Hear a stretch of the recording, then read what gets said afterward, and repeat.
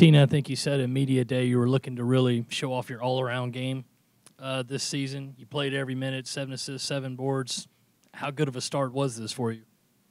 Um, well, I said I wasn't working on other parts of my game, but I know I shot a lot of threes tonight, so it still shows that I shoot.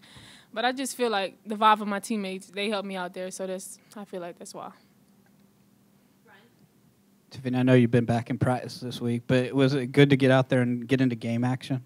Yeah, definitely. Uh, this is my first time, you know, playing against someone other than um, South Carolina, so uh, it felt good just being out there again.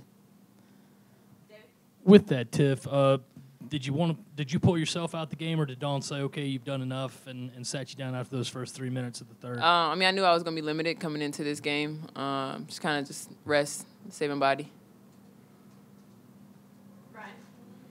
For any of y'all, really, this is the first time that you know you really got to go against somebody else in front of people. I guess in this new quarter. Si- do y'all like the the new quarter system?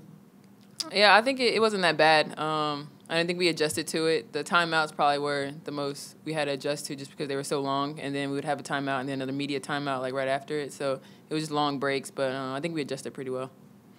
Dave Alaina, how good does it feel out there when you know that the other team can't hope to stop you inside? It feels really good. I mean, for me, it's just another opportunity to you know help my my guards get more assists. You know, you know you find the weakness in the other team's post players and you attack them, and you know the guards want what's best for us, and you know we're trying to help out our guards as well. And also, Tina, I mean, if it came to it, do you think you could be out there for 30, 35 minutes per night? Well, I think so. I mean, I think I showed that tonight. I know sometimes I like I look kind of winded, but we we work on it in practice. Just staying there for a long time, being being able to play while you're tired. And I feel like the 10 minute quarters is a good thing. I think that helps. Anything else for student athletes? Thank you, ladies. Oh, yeah.